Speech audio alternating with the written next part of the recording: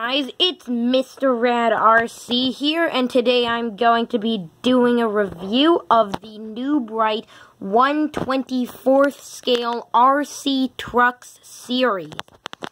Now, these are just simple, cheap little 124th scale miniature trucks they just run on megahertz frequencies. There's 27 and 49 megahertz. So if you buy two of the same frequencies, you'll get interference from each other's radios. Nothing fancy, non-proportional steering. See, I'm getting nothing, nothing, nothing, nothing, and bam. Nothing, nothing, bam.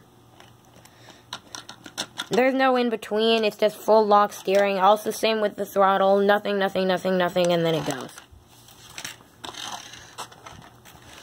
Now, these come in around 10 bucks at Walmart. Elsewhere, they seem to be from like 15 to 20. I'll put a link in the description online, Amazon.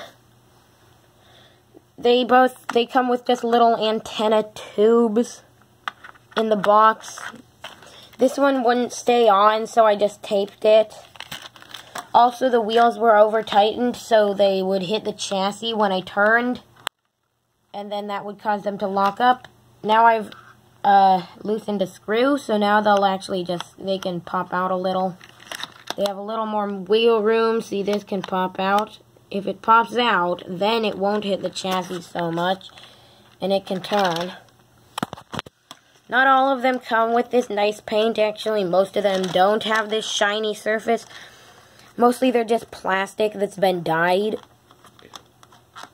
And the sticker, the sticker jobs are okay. They're not perfect. A little crooked here and there, like this Super Duty sticker on the back. Mine's an F250 Super Duty. Uh, let's drive it around a little. So the, the lifespan of these trucks, all of my cars are still working. They, they, the the 124 scale cars and 124 scale trucks are electrically the same. My previous truck died uh, electronically after about over two, a bit over two years of running it. But enough blabbing, let's take it for a spin.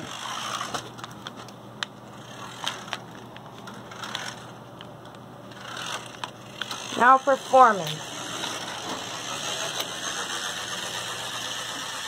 On this carpet, it's alright. Nothing too great. I'm going to get my jump.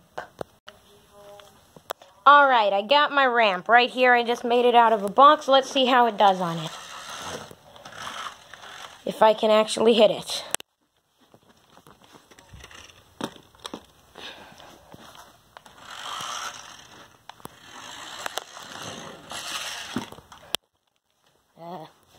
That was unimpressive.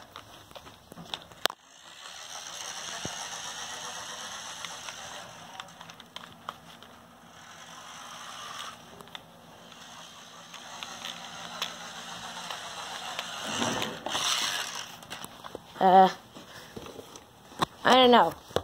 Let's take it outside.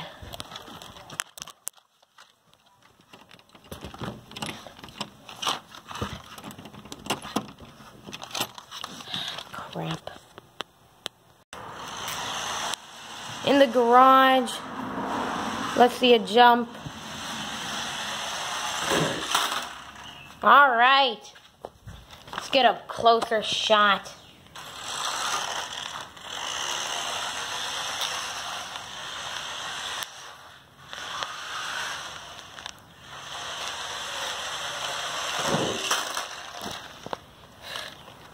When you've only got one hand available because the other one's uh, filming, it can be harder to get a perfectly straight shot.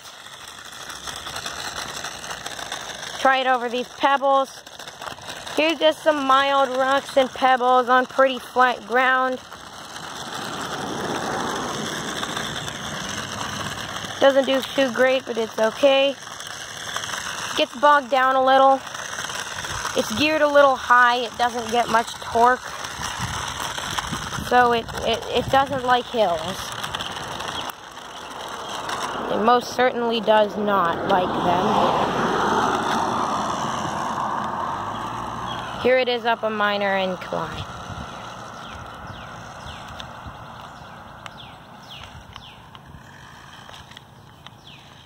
Let's go down it.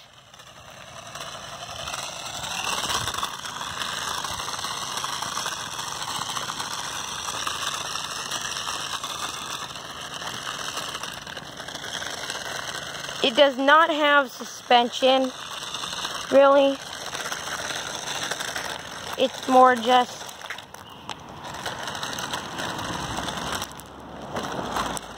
Yeah, it doesn't have suspension. But it's the $10 RC car. What do you expect? And I think for $10 it's pretty good. Let's try something a little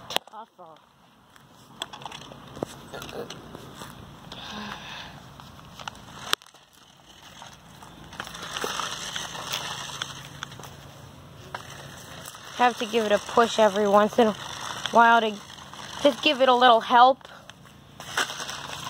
Occasional push. But it gets around okay.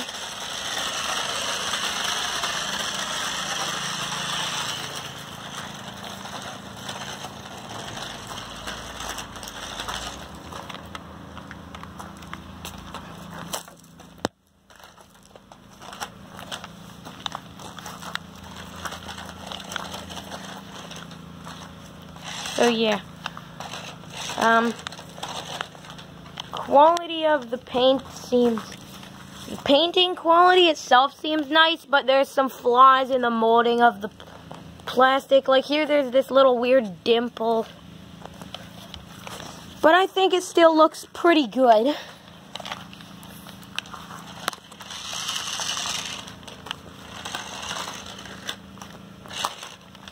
This is actually my second run of this review video, second attempt, trying to keep it a little shorter. It's getting through this grass, well now it isn't, but it was getting through this grass. This is on a downhill.